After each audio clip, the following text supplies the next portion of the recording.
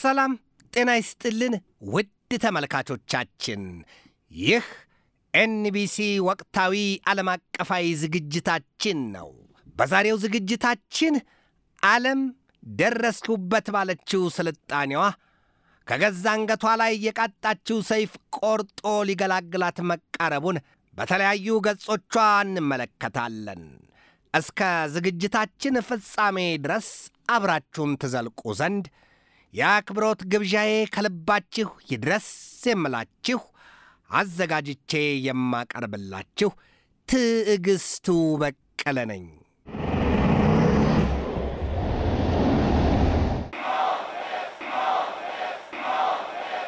የእስራኤልና የሐማስ ጦርነት ድፍን አንድ ዓመት ሊሞላው ተቃርቧል። በዚሁ የታሪክ ዘግናኝ እልቂት በታየበት ጦርነትም ያልተነካካ ሀገር የለም ነው የሚባለው። በተለይም ደግሞ በምዕራብና በምስራቅ ጎራ የተከፈሉት ሀገራት እስከ አንገታቸው በነገር የመዘፈቃቸው ምስጢር ወጥቶ ታይቷል። በእስራኤልና በሐማስ ጦርነት የስንግ የተያዘ የሚመስለው የተባበሩት መንግሥታት ድርጅት በበኩሉ ጠቅላላ ጉባኤውን አድርጎ ትናንት አንዳች ውሳኔ በጋዛ ሰርጥ ጉዳይ ለማስተላለፍ ቢያጉተመትምም ዛሬ የተሰማበት ዜና ግን የዚያ የባለ 193 አባል ሀገራቱን የጋራ መሰባሰቢያ ማኅበር ወይም የመንግሥታቱ ድርጅትን ደካማና አንድነት የሌለው መሆኑን ምስጢሩን አውጥቶ አደባባይ አስጥቶበታል ሲሉ የተሳለቁበት ሕልቆ መሳፍርት የላቸውም። በዚሁ የተባበሩት መንግሥታት ድርጅት የትናንትናው ስብሰባ ሂደት በዋናነት ርዕሰ ጉዳይ የነበረው ኢዝራኤል ከፍልስጤማያኑ ምድር በአንድ ዓመት ወይም በአስራ ሁለት ወራት ጊዜ ውስጥ ሙሉ በሙሉ ጨርቄንና ማቄን ሳትል ለቃ እንድትወጣ የሚል ውሳኔ ነበር። ታዲያ ምን ያደርጋል፣ በዚያን የድርጅቱ የውሳኔ ሐሳብ የአንድ መቶ ዘጠና ሦስቱ አባል ሀገራት ካጉተመተሙ በኋላ ከፊሉ ሐሳቡን ሲቃወም፣ ገሚሱም ድምፁን ውጦ ሲቀመጥ አሊያም ታቅቦ ሆኖ ታይቷል ነው የተባለው። ከተባበሩት መንግሥታት ድርጅት ጠቅላላ ጉባኤ አባላት የኢዝራኤልን ከፍልስጤማያኑ ምድር ለቆ መውጣት ውሳኔ ድምፃቸውን ካቀቡ 43 ሀገራት መካከል ህንድ፣ አውስትራሊያ፣ ካናዳ፣ ጀርመን፣ ጣሊያን፣ ኔፓል፣ ዩክሬንና እንግሊዝ ሲገኙባቸው አሜሪካና እስራኤልም ከድምፀ ታቅበው ባለፈ ፍጹም ተቃውሞ እንደሚኖራቸው ቀድሞውኑ ሳይታለም የተፈታ ጉዳይ ነው። አንድ መቶ ዘጠና ሦስት አባል ሀገራትን ያጣመረው የተባበሩት መንግሥታት ድርጅት ጠቅላላ ጉባኤ በትናንት አመሻሽ ውሳኔው Israel end its unlawful presence in occupied Palestinian territories within 12 months ታዲያ ይህንን የውሳኔ ሐሳብ 124 ሀገራት ሲቀበሉት 14 ሀገራት ተቃውመውታል። 43 ሀገራት ደግሞ ድምፃቸውን አቅበዋል ነው የተባለው። የ India Today ዘገባ እንደሚያትተው እስራኤል ከምስራቅ ኢየሩሳሌም ከጋዛ ሰርጥና ከዌስት ባንክ የእግሯን አቧራ አራግፋ መውጣት እንዳለባትና ለዚያም የአንድ ዓመት ጊዜ እንደተሰጣትን የገለጠው በኢዝራኤልና በፍልስጤማኑ መካከል ላይፈታ ከቶም እንደተቋጠረ እንዲቀጥል የሆነው የጦርነትና የዘላለማዊ ግጭት አባዜ ብዙ ነው። ፍልስጤማያኑ እየወለዱና እየበዙ በሄዱ ቁጥር ያቺ ለወትሮውም የበሬ ግንባር የምታክለው የጋዛ ሰርጥ ምድር ለዘላቂ መኖሪያነት ቀርቶ በምጻተኝነት ለአንድ ሳምንት አክራሞት እንኳን የምትጨንቆናባቸዋለች። በሌላም ገጽታ ደግሞ የፍልስጤማውያኑ ልጆች ከጥንተ ጥንቱ የዚያን ምድር ታሪክ ሲረከበው የኢየሩሳሌም ቢሉ የቤትልሔምና የጋዛ ሰርጥ እንዲሁም የዌስት ባንክና አሁን ኢዝራኤላውያኑ የሚኖሩበት አመዛኙ መሬት የፍልስጤማኑ እንደነበር እየሰሙና እየተነገራቸው አድገዋልና ፍልስጤማውያን ከሁለት አንጻር መሬታችን የሚሏቸውን ስፍራዎች መቆጣጠር ይሻሉ ነው የሚባለው። አንደኛው እስራኤላውያኑ የወረሩት የፍልስጤማኑ ምድር ነውና የሚል ሲሆን በሰላም ካልሆነ ግን በአመፅ እናስለቅቃቸዋለን የሚል ነው። የአሁኑን ሂደት ቆም ብሎ ማየት ነው። ፍልስጤማያኑ በዚያ ስፍራ ነባር ሕዝቦች ለመሆናቸው ደግሞ የአላቅሳን መስጊድ ያሳያሉ። አይሁዳውያኑ በበኩላቸው ለዚያ ምድር የቀዳሚነታቸውን ማረጋገጫ ሲሉ የሶሎሞንን ቤተ መቅደስ ያሳያሉ። የሶሎሞን ቤተ መቅደስ ጉዳይ ሲነሳ ፍልስጤማውያኑ ያስ የሶሎሞን ቤተ መቅደስ ቢሆን ቤት አልመቅዲስ አይደለም ወይ ሲሉ ስሙን እየጠሩ ይሞግታሉ። አይሁዳውያኑ መለስ ሲሉናም ለዚያ መሬት የቀዳሚ ሰፋሪነታችን ሲሉ አምስት ሺህ ሰባት መቶ ሰማንያ ሁለት ዘመናትን የኋሊት መልሰው ያሳያሉ። ጉዳዩ ምን ይሆን? በዚያ ምድር የተቀበረው እውነታ ማን ቀበረው? ማንስ ነው የሚያውቀው? በማን እጅ ያለው? እውን ምድራዊ ኃይልስ አሊያስ የሰው ልጅ ይፈታው ይሆን? የፍልስጤማኑንና የኢዝራኤላውያኑን ጉዳይ በዚች ምድር ላይ ያለው የሰው ልጅ አይፈታውም ሲሉ ከንፈራቸውን የሚመጡትም ህልቆ መሳፍርት የላቸውም። ታዲያ ግን ከወዴት ያለው ዳኛና ሽማግሌ መጥተው የእውነተኛ ግልግልና ፍርዳቸውን ይሰጡ ይሆን? Many people think of this territory as Palestine, but of the 3 million people living out here, almost 20% of them are Jewish Israeli citizens. The Israelis living out here are called settlers. They live in the West Bank, but they're citizens of Israel.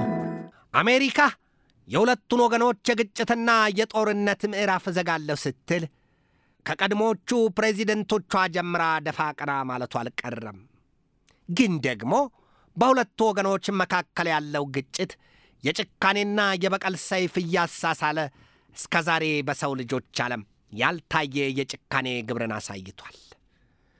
የፍልስጤማውያኑ አስከፊ እልቂት የጎመዘዘና የመረራቸው እንደ ኢራንና ቱርክን መሰሎቹ መንግሥታት ደግሞ ቱርክ በቀጥታ የጦር ኃይሌን አስገብቼ እስራኤልን እፋለማለሁ ስትል ስትዝት፣ ኢራን ደግሞ ስፍር ቁጥር የሌላቸውን ታጣቂዎች በመሰነቅና በማስታጠቅ ለእስራኤል የመኝታ ላይ ሾህ ሆነውባታል ነው የሚባለው።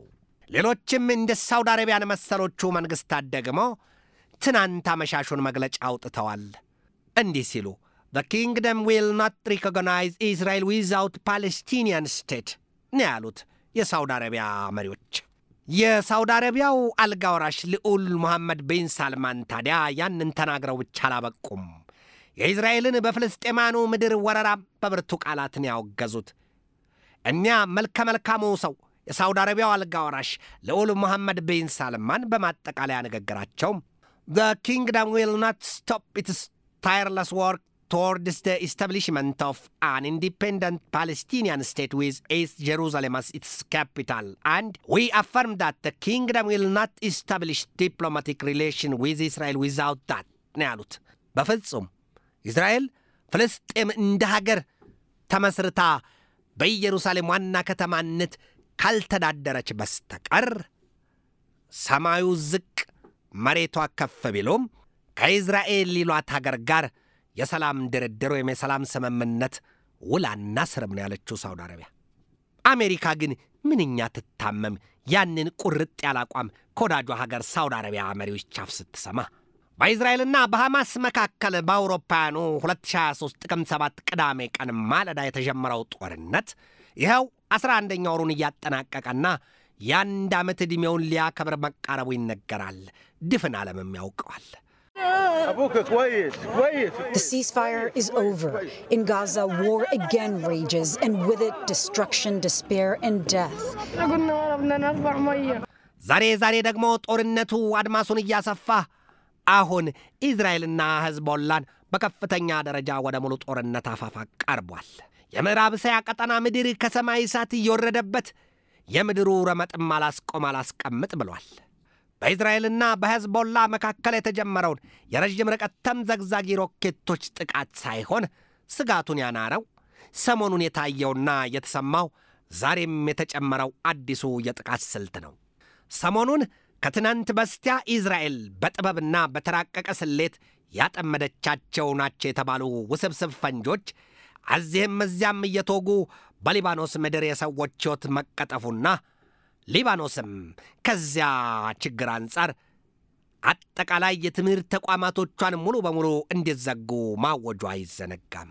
የሊባኖስ መቅሰፍት ዛሬም አላበቃም ነው የሚባለው። ዛሬም የዚያ የተራቀቀ የቴክኖሎጂ ጥቃት እንዲህ ተፈጽሟል ነው የተባለው። ያውም የሕዝቦላ ኃይሎች በያዟቸው ሬዲዮ መገናኛዎች ላይ ፍንድት ስንጥቅጥቅ እያሉ ሀያ ሰዎች መሞታቸውና በሺህ የሚቆጠሩ ደግሞ መቁሰላቸው ተሰምቷል። በዌስት ፖይንት የጥናትና ምርምር ተቋም የከተማ ጦርነት ስልትን ልቅም ጥርቅ አድርገው ያጠኑትና አዋቂው ሰው ጆን ስፔንሰር በሰጡት ማብራሪያ በቅርቡ አሉ ሰውየው የአግራሞት መግለጫ እጃቸውን ሁለት ጣት ከአፍና አፍንጫቸው ላይ አድርገው በቅርቡ በሕዝቦላ ላይ የተፈጸመው የሳይበር ጥቃት ምን ያህል የተራቀቀና አስደናቂ ነው ብለውታል። በእኛ ሐጃኢብ ይሉትን መሆኑ ነው። በዚሁ የተወሳሰበ ጥቃትም የሕዝቦላ ኃይሎች ክፉኛ ተረብሸዋል፣ ተደናግጠዋልም ነው የተባለው። አሁን በተራቀቀ ስልትና ስሌት በሊባኖስ የተፈጸመውና የተሰማው ግድያ በገመድ አልባ የመገናኛ ዘዴዎች ላይ የተነጣጠረ መሆኑ ሲታይ የመጀመሪያውን ቀን ጥቃት pager ወይም ይሄ ማለት an electronic device usually worn on one's person that receives messages and signals the user by beeping or vibrating ይለዋል። ባልንጀራህ ዛሬ ሲታማ ነገን አንዷ የኔ ነች ብለህ ስማ ይሏል ኢትዮጵያውያን አበው። የኢዝራኤሉ የመከላከያ ሚኒስትር ዮአፍ ጋላንት በሰጡት የጉዳዩ ዙሪያ ማብራሪያቸው አሁን አዲሱ የጦርነት ምዕራፍ ተከፍቷል ነው ያሉት በደምሳሳው። እስራኤል በሊባኖስ ለተፈጸመው የሰሞኑ ጥቃት ኃላፊነቱን ስለመልበሱ አልተሸሽገውም። በመካከለኛው ምስራቅ ያለውን የአሲድ የኮሶና የእሳት ብጥብጥ ለማስቆም በሚል የአሜሪካው የውጭ ጉዳይ ሚኒስትር አንቶኒ ብሊንከን በካይሮ ቤተ መንግሥት ከሹማምንቶቹ ጋር ቢመክሩም ቢዘክሩም ውሃ ቢወቅጡትም ቦጭን እየሆነ የትናንትናውና ለሁለተኛ ጊዜ የተፈጸመው የሊባኖስ ምድር ጥቃት ግን አስፈሪም አስደንጋጭም ሆኗል ነው የሚባለው።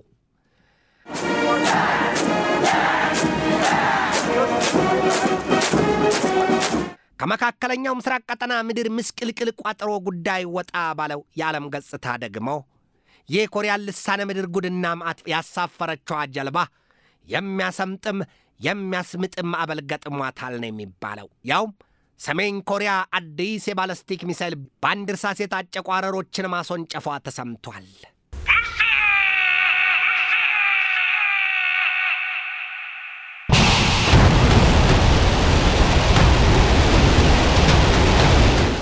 የሰሜን ኮሪያን አደገኛ የተባለለት የባለስቲክ ሚሳይል ሙከራ በስፍራው ተገኝተው ያስተኮሱት ደግሞ የሀገሪቱ መሪ ኪም ጆንግ ኡን ናቸው።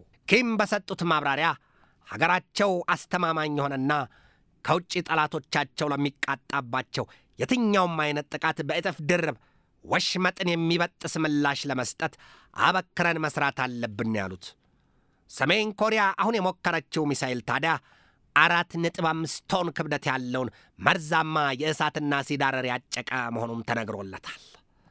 ሰሜን ኮሪያ አዲስ እየሰራች ለማጠናቀቅ የተቃረበችው ሌላው መርዘኛና መዘዘኛ የተባለለት መሳሪያዋ አለን የተባለው ያውም የህዋሶንግ ፖ 11 ዲኤ 4.5 መሳሪያዋ ሲሆን ይሄ ደግሞ በሩሲያ ቶሎና በአስቸኳይ ደርሶ የሚፈለግ መሆኑ ተነግሮለታል። በወዲህ ወገን ያሉት የሩሲያ ባለሥልጣናት ደግሞ please please fear us ሲሉ ደግመው ያሳያሉ፣ ያስጠነቅቃሉ። ፍሩን፣ አክብሩን፣ ፈራናችሁ፣ እንከባበር ለማለት ነው በኢትዮጵያውያኑ።